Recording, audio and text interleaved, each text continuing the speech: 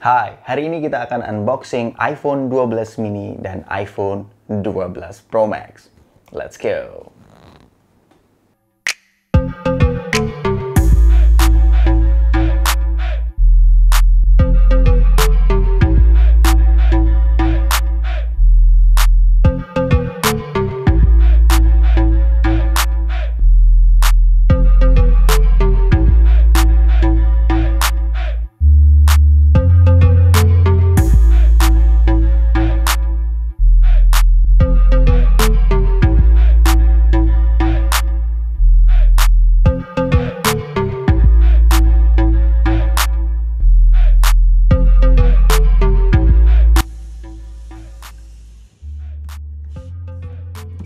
Unboxing iPhone 12 Pro Max dan iPhone 12 mini. Langsung saja kita unboxing dua HP ini. Kalau kalian tahu bahwa di iPhone 12 series ini boxnya ini semakin tipis ya. Jadi untuk warna dari seri Pro-nya juga berbeda. Warna dari seri Pro-nya ini lebih elegan. Pro dan 12 Pro Max ini menggunakan warna hitam ya di boxnya sedangkan di iPhone 12 mini dan iPhone 12 biasa ini menggunakan warna putih. Kalau kalian pengen tahu perbedaan boxnya dibandingkan dengan tahun lalu iPhone 11 Pro Max ini hampir dua kali lipatnya ya. Ya sih? Hampir dua kali lipatnya. Ini perbedaannya lumayan cukup. Bisa menghemat kos ya. iPhone selalu pintar mengemas marketing mereka sehingga mereka bisa menekan cost dan ya itulah iPhone. Tapi kalau HP-HP Cina tidak ada uh, headsetnya aja dibilang pelit itulah perbedaan branding iPhone dengan branding HP-HP lain. Langsung saja kita buka boxnya. Kita buka terlebih dahulu dari iPhone 12 Pro Max nya uh ini adalah warna Pacific Blue dan finishingnya Dove ya kita kesampingkan terlebih dahulu. Dan sekarang iPhone 12 mini nya boom. Ini adalah warna blue. Warnanya berbeda ya kalian bisa melihat. Warnanya lebih uh, reflektif di iPhone 12 mini dibandingkan 12 Pro Max. Kita kesampingkan terlebih dahulu apa aja yang kita bakal dapat di dalam boxnya ya ini ada uh, buku manual yang sangat kecil banget dan dapat stikernya juga. Kita taruh di sini terlebih dahulu. Dan ada USB Type C ke Lightning. Ini kita harus beli charging bricknya juga. Kemudian di dalam boxnya di iPhone 12 Pro Max juga sama. Tetapi stikernya saya rasa lebih besar ya dibandingkan dengan yang 12 mini Uh, ada sedikit perbedaan. Kita kesampingkan dan ini juga terdapat USB Type-C dan Lightning port. Nah, sekarang kita langsung ke kesan pertama atau hands-on kedua HP ini. Ya, ini kita keletek terlebih dahulu.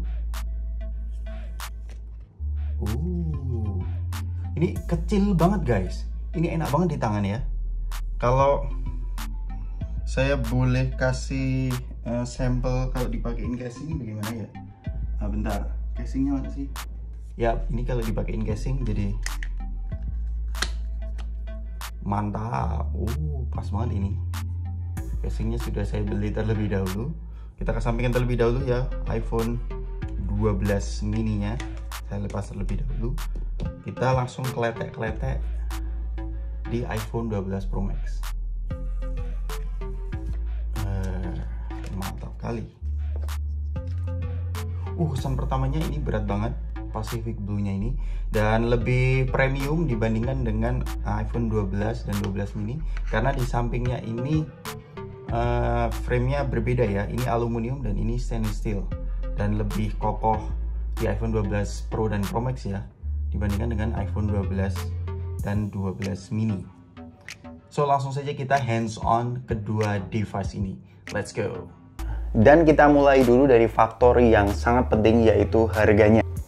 iPhone 12 mini ini yang saya beli ini adalah versi 128GB dengan harga Rp3.600 atau setara dengan Rp12.400.000. Ini harga yang sama dengan iPhone 11 tahun lalu dengan versi yang sama. Jadi kalian bisa punya gambaran iPhone 12 mini ini akan sama persis harganya dengan iPhone 11 pada saat rilis di Indonesia. Dan kemudian untuk harga dari iPhone 12 Pro Max, ini versi yang saya beli ini adalah versi 128GB dengan harga sekitar Rp5.300 atau setara dengan Rp18.200.000. Jadi dua harga yang saya sebutkan tadi baik mini dan Pro Max ini belum termasuk pajak ya. Kalian bisa cek harga di Indonesia. Untuk non resminya saya taruh di link deskripsi di bawah, kalian bisa cek di bawah. Lanjut soal desain dan build materialnya. Untuk desain iPhone 12 series, ini kembali menggunakan desain peninggalan Steve Jobs, yaitu flat design. Namun, bahan yang digunakan di iPhone 12 mini dan iPhone 12 itu sama menggunakan aluminium. Sedangkan di iPhone 12 Pro dan iPhone 12 Pro Max ini menggunakan stainless steel. Dan ngomongin soal ukuran HP 12 mini ini, sini enak banget, ini kecil banget. Ini bahkan saya bandingkan side by side dengan iPhone 7, ini lebih kecil ya untuk diagonal layarnya. Ini lebih tepatnya 5,4 inci. HP ini terasa ringan dan ringkas sekali. Sedangkan di iPhone 12 Pro Max ini terasa sangat besar dan bongsor. Dan jika kita bandingkan dengan iPhone 11 Pro Max, iPhone 12 Pro Max ini jauh terasa lebih gede banget ya. Jadi bagi kalian yang penasaran bagaimana nanti perbandingan kamera antara kedua device ini, kalian bisa subscribe channel ini untuk mengetahui apakah worth it sih upgrade dari 11 Pro Max ke 12 Pro Max. Lanjut. Dan kemudian untuk spesifikasi baik 12 mini dan 12 Pro Max ini sudah menggunakan prosesor yang sama yaitu A14 Bionic dengan kemampuan 5G plus teknologi fabrikasi terkecil ya bersama dengan Huawei yaitu 5 nanometer, salah satu fabrikasi terkecil saat ini. Namun yang berbeda adalah RAM-nya yaitu RAM di 12 mini ini 4 GB sedangkan di 12 Pro Max itu 6 GB. Dan perbedaan ketiga adalah baterainya. Di iPhone 12 mini ini menggunakan 2227 mAh sedangkan di iPhone 12 Pro Max ini turun ya dari 11 Pro Max yaitu 3687 mAh.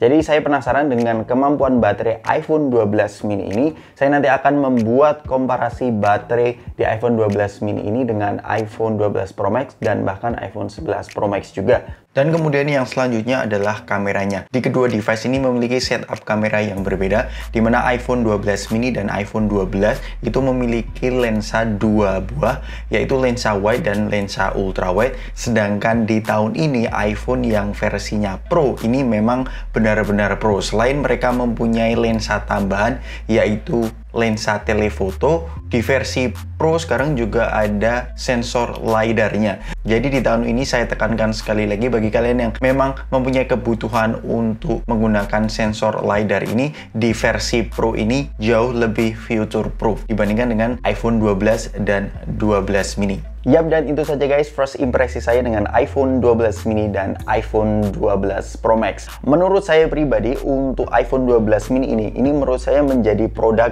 the most selling iPhone 12 series yang akan laku di tahun ini. Karena memang ukurannya ringkas banget, ini mini banget, ini benar-benar enak sekali ya di tangan uh, tanpa uh, mengorbankan spesifikasi seperti sudah menggunakan A14 Bionic juga. RAM-nya tidak terlalu berbeda karena di iPhone memang manajemen RAM-nya memang super sekali dan saya sepertinya akan membuat review terlebih dahulu iPhone 12 mini ini dibandingkan dengan iPhone 12 Pro Max. Karena di iPhone 12 Pro Max di tahun ini ini mereka menggunakan setup kamera yang lebih pro uh, dengan fitur-fitur yang lebih pro lagi nanti kita akan membahas setelah saya mereview iPhone 12 mini ini. Jadi stay tune di channel ini dan jangan lupa untuk subscribe di channel ini Dewi Gadget. Sampai ketemu di video selanjutnya. Peace out.